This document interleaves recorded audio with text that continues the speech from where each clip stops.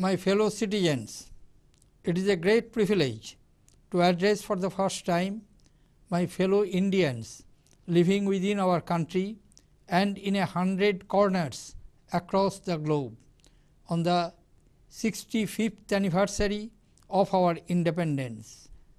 Words cannot adequately express my gratitude to the people and their representatives for the honor of this high office. Even as I am deeply conscious of the fact that the highest honor in our democracy does not lie in any office, but in being a citizen of India, our motherland. We are all equal children before our mother, and India asks each one of us, in whatsoever role we play in the complex drama of nation building, to do our duty with integrity, commitment, and unflinching loyalty to the values enshrined in our Constitution. It is important to remember on Independence Day that in the age of empires, freedom was never given, it was taken.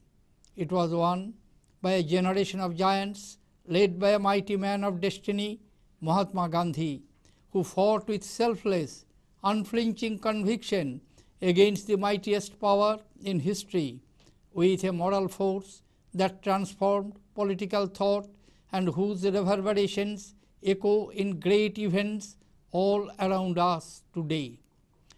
If the rise of European colonization began in 18th century India, then the rallying cry of Jai Hind also signaled the end in 1947. The final call to victory, Jai Hind, was given by Subhash Chandra Bose, fondly known to every Indian as Netaji. Pandit Jawaharlal Nehru, Baba Saheb Ambedkar, Sardar Vallabhbhai Patel, Maulana Abul Kalam Azad, Sarojini Naidu, and many others charted the roadmap of independent India. These extraordinary men and women sacrificed their two days for our tomorrows. That tomorrow has come, and there is a question we must ask ourselves have we honored the great vision of these stalwarts as a nation and as a society? I was a toddler when Netaji, as Rashtrapati of the 51st session of Indian National Congress in Haripura, on the banks of the river Tapti, reminded us that our chief national problems are eradication of poverty, illiteracy, and disease. His speech echoed through my home as it did through millions of others. My father was a freedom fighter, and through those long years when freedom seemed an illusion, we were sustained by faith in ourselves, in our leaders, in the strength of nonviolence, in the courage of Indians liberated from fear.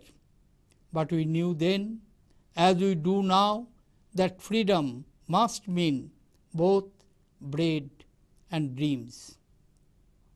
Netaji and Nehruji believed that India could seize the future by an application of synthesis, samabad, of what might seem on surface to be implacable opposites.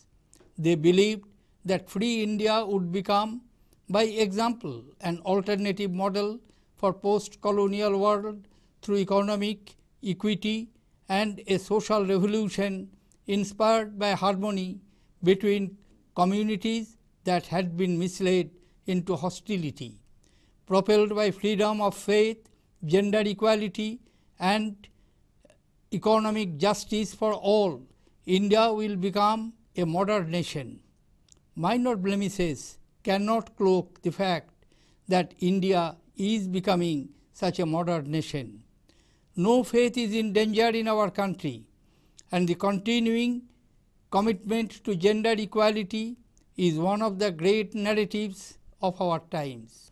My fellow citizens, I am not a pessimist. For me, the glass is always half full rather than half empty. I would go to the extent of saying that the glass of modern India is more than half full. Our productive working class, our inspiring farmers who have lifted a famine wrecked land to food surplus status, our imaginative industrialists, entrepreneurs, whether in the private or public sector, our intellectuals, our academics, and our political class have knit together a modern nation that has leapt within mere decades across many centuries in economic growth and progressive social legislation. We cannot appreciate how far we have travelled until we understand from where we started in 1947. As Jawaharlal Nehru pointed out so often in his speeches and prose, India was not a poor country when our independence was snatched away. No one, I may add, travels thousands of miles to conquer a poor country. Statistics published by contemporary international scholars are proof for skeptics. In 1750, seven years before the fateful Battle of Plassey, India had 24.5 percent of world manufacturing output, while United Kingdom had only 1.9 percent. In other words, one in every four goods on the world market was manufactured in India. By 1900, India had been left with only 1.7 percent of world manufacturing output and Britain had risen to 18.5 percent. The Western Industrial Revolution was in its incipient stages in the 18th century, but even in this regard, India slipped from 7 to 1 in per capita industrialization. In the period while Britain vaulted from 10 to 100. Between 1900 and 1947, India's economic growth was an annual average of 1 percent. From such depths, we climbed first to 3 percent growth and then took a quantum leap forward today despite two great international crises that rocked the world and some domestic dips, we have posted an average growth rate of more than 8 percent over the last 7 years. If our economy has achieved critical mass, then it must become a launching pad for the next leap we need a second freedom struggle, this time to ensure that India is free forever from hunger, disease and poverty. As my preeminent predecessor, Dr. Sarvepalli Radhakrishnan, speaking from this platform on the 18th anniversary of freedom, said, Economic progress is one of the tests of democracy. If progress falls behind rising aspiration, particularly of the young, rage will manifest itself. We are a nation that is becoming younger both in age and spirit. This is an opportunity as well as a challenge. The young thirst for knowledge that will lift their skills and for opportunity that will put India on the fast track to the first world. They have the character, they need the chance. Education is the seed and economy is the fruit. Provide good education, disease, hunger, and poverty will recede. As I said in my acceptance speech, our motto must be all for knowledge and knowledge for all. Visions cannot be an open ended vista, it must be focused on our youth. My fellow citizens, Notwithstanding the tremendous pressure of an adverse external environment, our economy today is more resilient and confident. Two decades of steady economic reforms have contributed to improvement in average income and consumption levels in both rural and urban areas. There is newfound dynamism in some of the most backward areas, bringing them into the national economic mainstream. Yet, there are several gaps that need to be bridged. Green revolution has to be extended to the eastern region of our country. Creation of high quality infrastructure has to be fast tracked. education and health services have to reach the last man at the earliest. Much has been done. A lot more remains to be done. The monsoon has played truant this year. Large areas of our country are in the grip of drought. Some others are devastated by floods. Inflation, particularly food inflation, remains a cause of worry. While our food availability remains healthy, we cannot forget the plight of those who made this possible even in a lean year. Our farmers, they have stood by the nation in its need. The nation must stand by them in their distress. I do not believe that there is any inherent contradiction in protecting our environment and economic development. As long as we heed Gandhiji's great lesson, there is sufficient in the world for men's need, but not for man's greed. We are safe. We must learn to live in harmony with nature. Nature cannot be consistent. We must be able to conserve her bounty during the many seasons of plenty, so that we are not bereft during the occasional bout of scarcity. Anger against the bitter pandemic of corruption is legitimate, as is the protest against this plague that is eroding the capability and potential of our nation. There are times when people lose their patience, but it cannot become an excuse for an assault on our democratic institutions.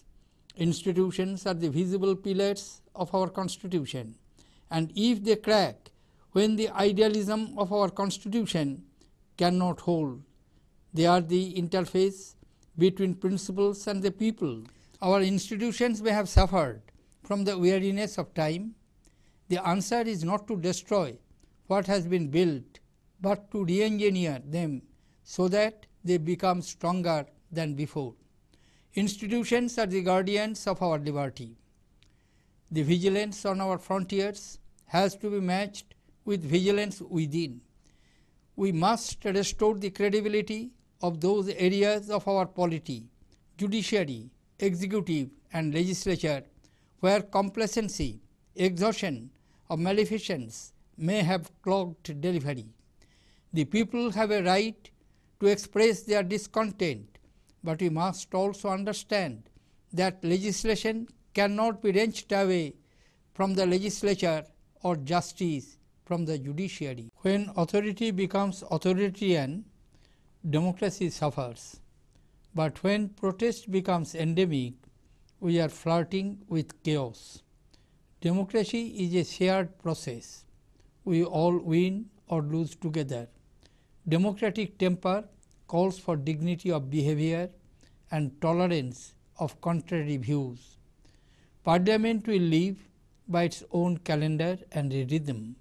Sometimes that rhythm sounds a bit atonal, but in a democracy there is always judgment day and election. Parliament is the soul of the people, the Atma of India. We challenge its rights and duties at our peril. I say this not in a spirit of admonition, but as a plea for greater understanding of the existential issues that lurk behind the mask of the mundane. Democracy is blessed with a unique opportunity of redress of grievances through the great institution of accountability, free elections. Old fires that threaten the stability of our nation have not been fully doused. The ash continues to smolder. It is particularly painful for me to witness the violence in Assam. Our minorities need solace understanding and protection from aggression. Violence is not an option. Violence is an invitation to greater violence. Concrete attempts have been made to heal the wounds of Assam, including the Assam Accord conceived by our young and beloved former Prime Minister Rajiv Gandhi. We should revisit them and adapt them to present conditions in the spirit of justice and national interest. We need peace for a new economic surge that eliminates the competitive causes of violence. It is a fact of our geopolitical environment that some problems transcend borders. SAARC was created 27 years ago to find solutions through dialogues and by mutual cooperation create the rapid economic growth that is the only long term answer to problems like migration and uneven development. SAARC must acquire vigor to fulfill its mandate. The SAARC should be a major instrument in the common war against terrorists. Great success is possible by international cooperation. All SAARC nations must cooperate to bring to justice those who believe in mayhem against innocents. There is no other way towards peace on the subcontinent. I am proud of our brave armed forces and our valiant police forces who have done so much at such great personal risk to curb this menace of terrorism. It is their vigilance which has prevented more havoc. If we sleep in peace, it is because they are awake and vigilant in the desolation of desert and mountain and forest and in the vast loneliness of the seas. I salute their commitment and their patriotism. It is heartening that the armed forces not only guarantee our peace, but also produce medal winners at Olympics. I congratulate all who have done their nation proud at the recently concluded games by winning us as well as by participating. The number of trophies may not be too large, but it is a remarkable improvement upon the last count. Four years later, when I hope to address you again, I am sure we will celebrate a medals spring. My fellow citizens, if there is one man in history whose name is synonymous with peace, then it is Gandhiji, the architect of our independence. India is a land of plenty, inhabited by poverty. India has an enthralling, uplifting civilization that sparkles not only in our magnificent art, but also in the enormous creativity and humanity of our daily life in city and village. When Indira Gandhi reached for the stars, she believed that this would be within the grasp of India in just another generation. But there is neither a present nor a future except in a climate and culture of national unity and brotherhood.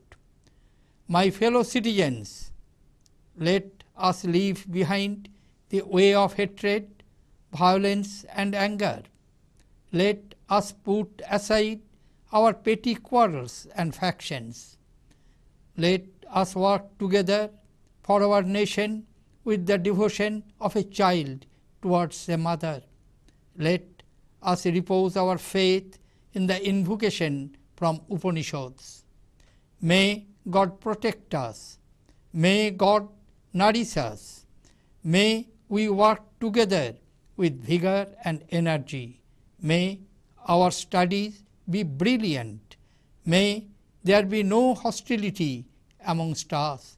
May there be peace, peace, peace. Peace must be our ideology, progress our horizon. Jai Hind.